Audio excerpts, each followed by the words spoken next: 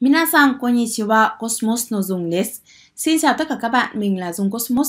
Rất vui được gặp lại các bạn trong video clip lần này. Hôm nay chúng mình sẽ cùng nhau tìm hiểu phần động từ C từ số 1051 đến 1060. Đầu tiên đó là từ uchikesu. Uchikesu này là phủ nhận, bác bỏ. Tiếp theo là từ ojiru, đáp lại đối ứng với uketamawaru là hiểu rõ hoặc là khi mình hỏi ai đó.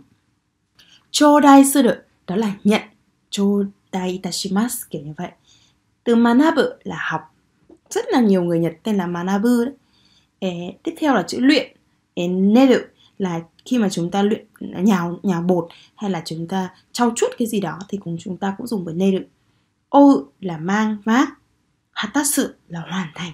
Ví dụ như là Shikinin o hatasu, yakusoku o hatasu, yakusoku, eh, nhiệm Tiếp tục là hiki ukeru. Hiki ukeru đó là nhận đảm trách cái gì đó. Hiki ukeru. Shigoto o hiki uketa.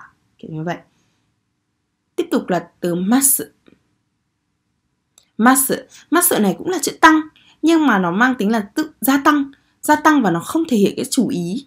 Mà nó hơi thụ động. Nghĩa là tự nhiên nó, nó tăng trưởng như vậy ví dụ như là khi tôi đến Việt Nam thì tự nhiên là tôi có cái Kiyomi ga Fumashita nghĩa là tự nhiên cái, cái cái cái quan tâm của tôi đối với Việt Nam tăng lên đó thì đấy là các từ có trong bài ngày hôm nay bây giờ chúng mình cùng nhau tìm hiểu chi tiết nhé 1051打ち消す đả tiêu mang nghĩa phủ nhận cự tuyệt bác bỏ tha động từ 良くない噂が流れるとそれを打ち消すのは大変だ nếu lan truyền tin đồn không tốt thì việc dập tắt nó rất khó từ cùng loại 否定する phủ định danh từ 打ち消し việc phủ nhận bác bỏ 1050に応じる chữ ứng mang nghĩa ứng với phù hợp đáp ứng tự động từ ý nghĩa thứ nhất ボランティア募集の呼びかけに応じて大勢の若者が集まった đáp lại lời kêu gọi tuyển chọn tình nguyện viên thì có rất nhiều bạn trẻ đã tập trung đến ý nghĩa thứ nhất 依頼要求注文募集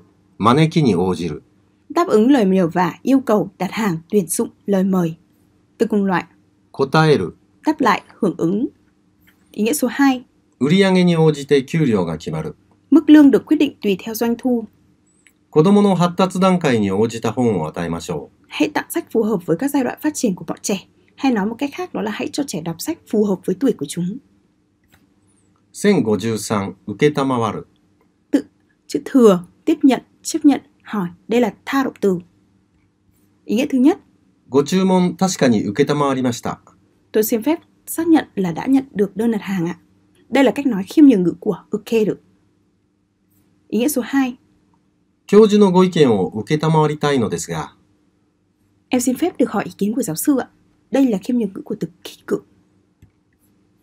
1054頂戴する chữ tính và chữ đái mang nghĩa là làm cho tôi nhận dùng tha động từ ý nghĩa thứ nhất これお土産ですありがとうございます頂戴します đây là quà của tôi đây là quà tặng anh ạ à, cảm ơn tôi xin nhận ではこれより田中様からスピーチを頂戴いたします và sau đây chúng ta sẽ lắng nghe bài phát biểu của ông hoặc anh Tanaka お客様から頂戴したご意見はサービス向上のために活かさせていただきます những ý kiến phản hồi từ quý khách hàng sẽ giúp cho chúng tôi nâng cao hơn nữa chất lượng dịch vụ.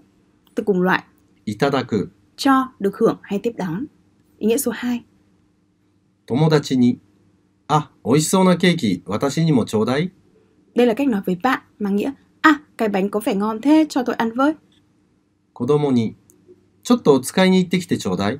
Cách nói với con hoặc trẻ con đó. Con đến dùng chút đi. Từ cùng loại. Kudasai. Hãy, xin hãy đưa cho. cho đây là cách nói thân mật xuồng xã hơn 1055学ぶ chữ học mang nghĩa là học ý nghĩa thứ nhất 大学で経済学を学ぶ tôi học kinh tế học tại trường đại học từ cùng loại 勉強する học tập ý nghĩa số 2福井先生からにフランス語を学んだ tôi đã học tiếng Pháp từ thầy Fukui 経験から学ぶ tôi học từ kinh nghiệm hay là trải nghiệm 1056 neru luyện gọt sũa trao chuốt tha động từ. Ý nghĩa thứ nhất. Pan no kiji o neru tôi nhào bột làm bánh mì. Nendo o neru tôi lặn tôi nặn đất sét. Ý nghĩa số 2 bunshō o neru tôi trao chuốt văn chương. Sakusen o neru tôi hoạch định chiến lược. 1057 ou. Chữ phụ mang nghĩa mang gánh vác tha động từ. Ý nghĩa thứ nhất. 背に荷物を追う。 Tôi vác hành lý trên vai, từ cùng loại. 背負う。 Đảm đương, gánh vác. Ý nghĩa số 2. 事故で大怪我を負った。 Tôi bị thương nặng trong vụ tai nạn. やけど、傷を負う。 Tôi bị bỏng, bị thương. Ý nghĩa số 3. 国民は納税の義務を負う。 Người dân có nghĩa vụ nộp thuế, 責任、借金を負う。 gánh vác trách nhiệm, gánh nợ. この映画の成功は、主演俳優の人気に負うところが大きい。 Thành công của bộ phim này phần lớn là nhờ sự nổi tiếng của dàn diễn viên chính. 1058、果たす。 Chữ quả mang nghĩa hoàn thành, tha động từ. Ý nghĩa thứ nhất, 子供が成人して、ようやく親の責任を果たした。 lúc đứa trẻ trưởng thành cũng là lúc ba mẹ hoàn thành trách nhiệm, 友達との約束を果たす。 hoàn thành lời hứa với bạn. Cụm từ hay dùng, 責任を果たす。 hoàn thành trách nhiệm, 約束を果たす。 hoàn thành lời hứa, ノルマを果たす。 hoàn thành chỉ tiêu sản xuất, 任務を果たす。 hoàn thành nghĩa vụ. 子供が9階から落ちたが、木がクッションの役割を果たして骨折で済んだ。 Đứa trẻ đã rơi từ tầng 9 xuống, nhưng cây cối phát huy vai trò như là cái đệm đỡ nên nó chỉ bị gãy xương thôi. Từ cùng loại, 役割を果たす。 hoàn thành vai trò. 1059、引き受ける。 Chữ dẫn với chữ thụ mang nghĩa tiếp nhận, tiếp đón. Ý nghĩa thứ nhất, 仕事を引き受けた以上、最後まで責任を持ってやるべきだ。 sau khi tiếp nhận công việc thì nên có trách nhiệm làm đến cùng. この役はぜひあなたに引き受けてもらいたい。 Tôi mong rằng anh sẽ tiếp nhận vai trò này. Ý nghĩa số 2, 留学生の身元を引き受ける。 tôi nhận được chứng nhận tư cách là du học sinh. Từ ghét, 身元引き受け人。 người bảo lãnh, 1060、増す。 chữ tăng làm tăng lên, làm hơn. Tự động từ. 現地に行ってさらに興味が増した。 Sau khi đến tận nơi thì sự thích thú lại càng tăng lên. 車はスピードを増した。 Xe ô tô đã tăng tốc độ, 体重が3キロ増した。 trọng lượng cơ thể đã tăng lên 3 kg. 台風で川の水が増してきた。 Bão khiến nước sông dâng lên, từ cùng loại, 増える、 tăng. Từ đối nghĩa, 減る。 giảm. Tha động từ, 彼は新しい事業に投資し、さらに財産を増した。 anh ấy đầu tư vào dự án mới, hơn nữa còn làm gia tăng khối tài sản lên. 台風は勢いを増した。 Cơn bão ngày càng mạnh lên, từ cùng loại, 増やす、 làm tăng lên. Từ đối nghĩa, 減らす。 làm giảm đi. Và chúng ta cùng nhau điểm lại các từ có trong bài nào. Uchikesu phủ nhận cự tuyệt bác bỏ. Ojiru ứng với phù hợp đáp ứng.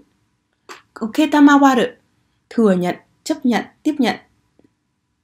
Chodai suru đính, đáy nghĩa là làm cho tôi hoặc là tôi hỏi, nhận dùng. Tiếp theo là từ manabu học. Neru luyện giọt có sữa trau chuốt. Ô mang gánh vác. Hatasu hoàn thành. Hikyukeru tiếp nhận, tiếp đón và cuối cùng là masu tăng làm tăng lên. Và đó là các từ mới có trong bài ngày hôm nay. Hy vọng rằng các bạn đã có thể ghi nhớ các động từ này. Đừng quên nhớ các cặp danh từ đi cùng với nó. Ví dụ như là danh từ ô e, uchikesu. Vậy những cái danh từ đấy là thường là những danh từ nào? Việc nhớ theo cặp như thế thì giúp chúng mình có thể nghe tốt hơn và đương nhiên là nói cũng tốt hơn. Chúc các bạn luôn có những giây phút học tập thật thú vị cùng với học tiếng Nhật Cosmos. Xin chào và hẹn gặp lại. Hosecho, arigatou gozaimashita.